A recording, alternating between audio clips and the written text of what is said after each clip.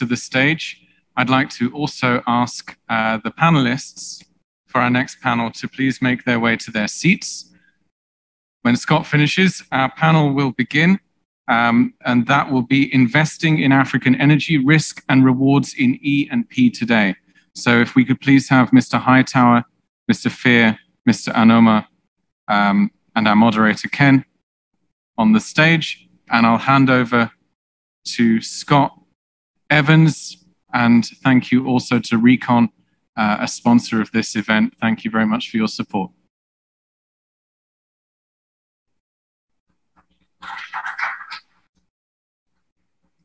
Okay. Uh, thank you, James. Thank you, everybody, for for attending. Um, my name is Scot Evans. I am the Chief Executive Officer for RECON Africa. I am also a uh, geologist by training. And so I'd like to use this talk to begin, uh, forward-looking statements, of course, to begin talking about investing in Africa, E&P projects in particular. So, you know, we, to talk about the investment case, and this is what we take to heart, is there's really three key points I want to I want to bring out. That Africa is, I think all geologists agree, the most underexplored continent for oil and gas. Very straightforward. I could probably emphasize sub-Saharan Africa. I could probably emphasize onshore, although offshore is is the same case. So there's a uh, an opportunity from the exploration side that you don't see other places in the world. First point. Second and I can say this as someone who's been fortunate enough in my career to work up and down the West African coast, to work in North Africa, now to work in in Namibia, Um, and not in a nice office, but out in the field. Uh, energy poverty is significant, it's prevalent, and it needs to be addressed. Uh, the work of the African Energy Chamber is absolutely fantastic here, but I think that voice is just now starting to resonate. And from our company's view, oil and gas can be part of the solution and transition. Right? Third point, technology and early commitment to ESG can lead to carbon neutrality uh, for for a given project. So normally when you're listening to an oil and gas person talk about technology, they're talking about you know, fancy colored cubes of seismic data spinning around and and charts that that kind of knock your socks off. Technology I'm referring to is for new fields, and again, given my first point that Uh, Africa is the most unexplored continent, So new oil and gas fields can take advantage of new technologies in their development that can lead to a carbon neutrality. So what am I talking about? Um, the ability to capture uh, excess methane. Newer wells, you can do that. It's much easier than doing it on older wells. Gas to power. For those of you at the uh, conference in South Africa and other conferences this year, gas to power is important. Um, it's good on-grid and it's good off-grid. For those not the geologists in the room, even if you have an oil field, you're still going to have what's called associated gas. In our case, we see the potential in our exploration efforts for both associated gas and non-associated gas.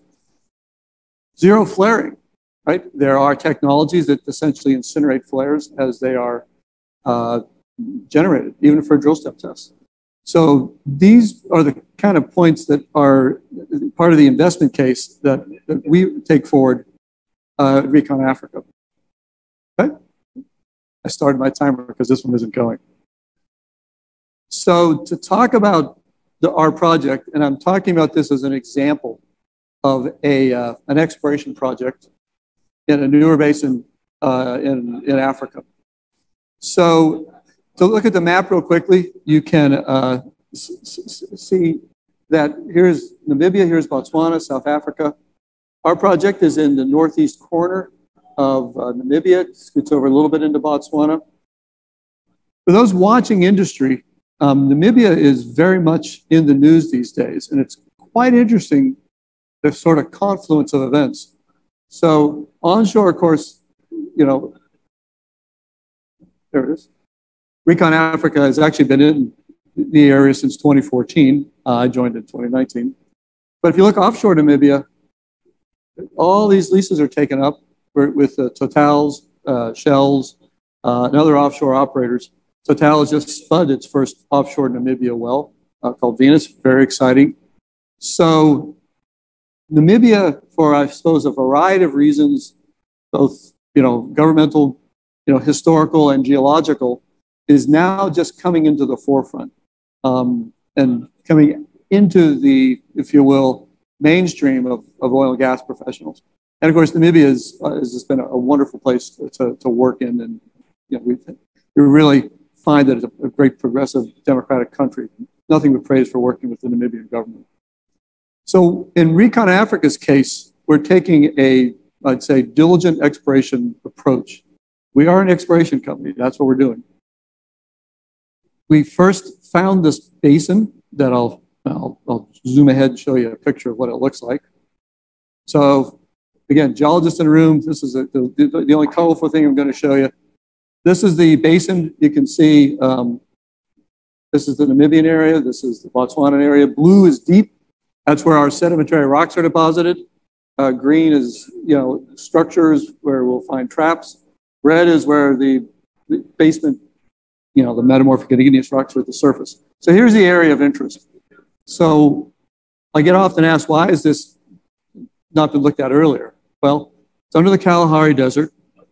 Petroleum laws in Namibia are sort of late evolving relative to the rest of the world.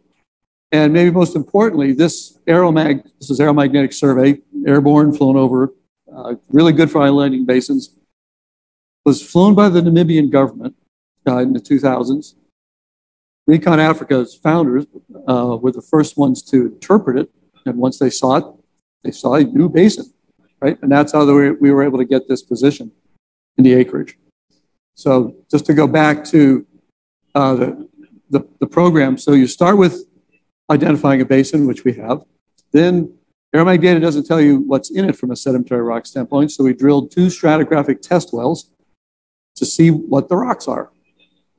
And both wells found uh, a lot of shows, uh, reservoir rocks, um, essentially indicating that we have an, an active petroleum system.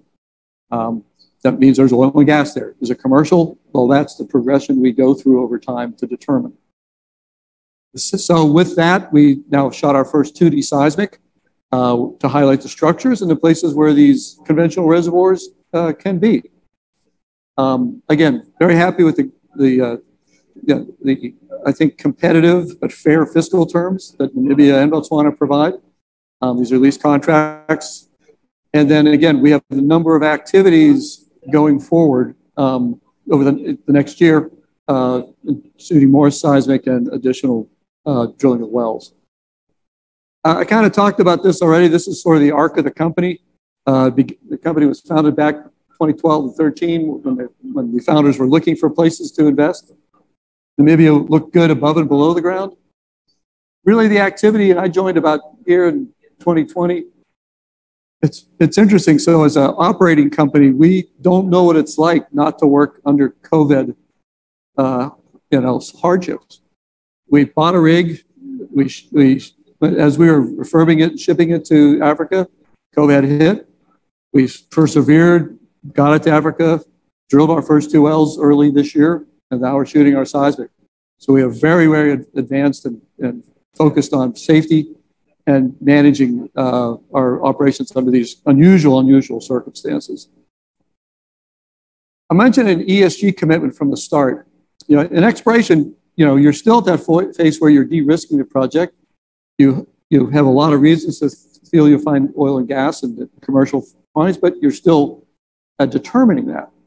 So an early commitment to ESG for us means a 10 million Canadian committed, you know, out of our budget during the expiration phase. Um, and that goes to both, uh, you know, our, you know, uh, efforts from the from working with the communities, in our case, drilling water wells, through um, uh, working with the, the government to ensure global best practices on the, on the environmental side, and then aligning with uh, the local communities, and probably most importantly, building a local company so Recon, Africa Namibia is the company that does our operations. It's 100% Namibian uh, staffed. The management team there is all Namibian. So from you know folks helping us in the field through management, it's 100% Namibian team. We feel that's a critical uh, investment and, you know, frankly, profitable decision that we made early and, and it is required. So if you're going to, um, how shall I say, uh, work from the ground up in Africa, you know, you can't parachute people in from the north and parachute them out. You have to have a commitment to a local team. You hire the best people you can, and then you train the ones that, that are going to be living with this project for the rest of their lives.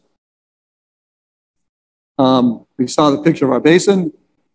We won't go into the details of the two wells. Uh, we are using third parties. Our data is published on the, web.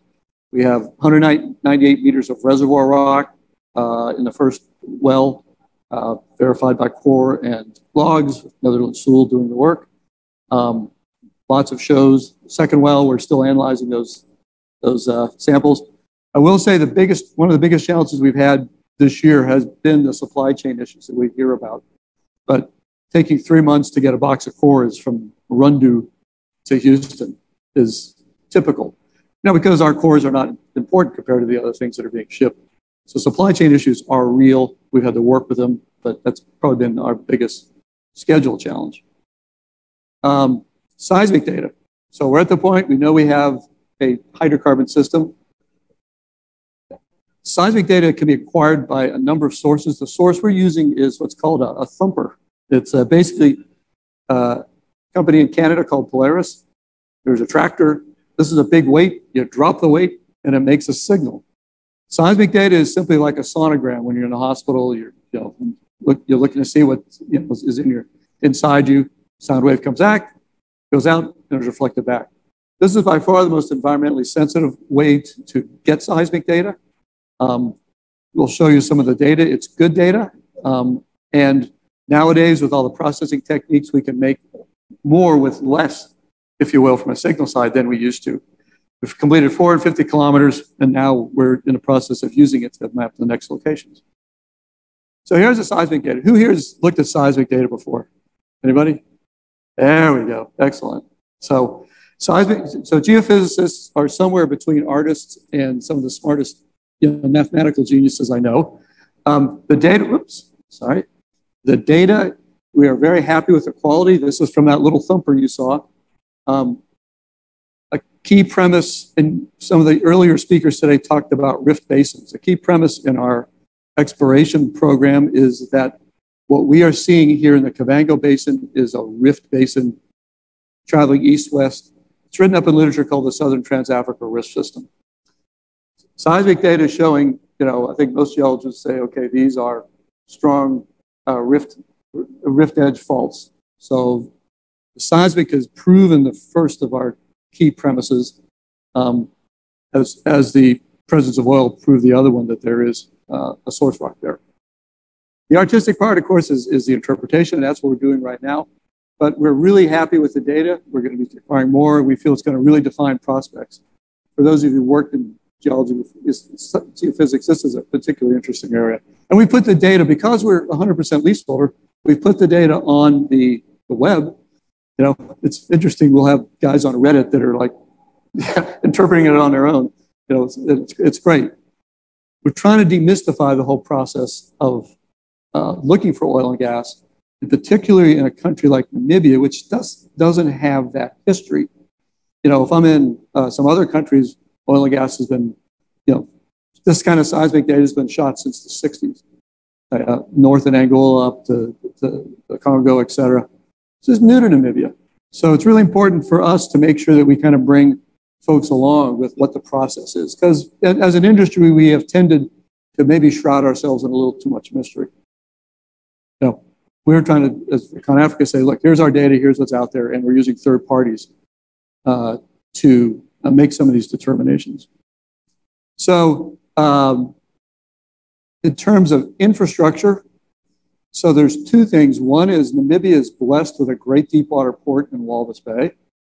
It has a rail system that gets almost to our uh, leasehold. So, given success in uh, finding a commercial field, uh, there is a way to get our crude, you know, to uh, to a port. Again, Oil does not exist without gas. Not going to vent it. We're going to use it to generate power. Um, and for in other cases, if it's got to be flared, we'll incinerate it. The power grid for this part of Namibia runs through our lease. Again, we're looking right now into gas to power solutions. They have become scalable, um, which was not in the, something in the past, so large, small to very large. Um, and we think that is maybe one of the first ways to start curing energy poverty. Um, and so uh, we're very excited about that. So again, just to finish up my comments, um, through a series of circumstances, partially luck and partially good science, we found a large undiscovered, uh, undeveloped basin, right? And we're very early in the exploration process.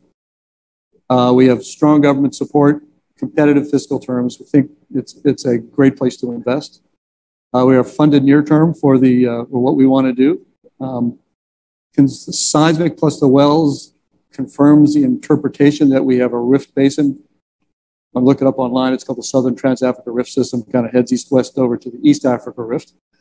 Um, and uh, we will be using the seismic to identify new drilling programs, and we're potentially looking at partnering um, in the coming year.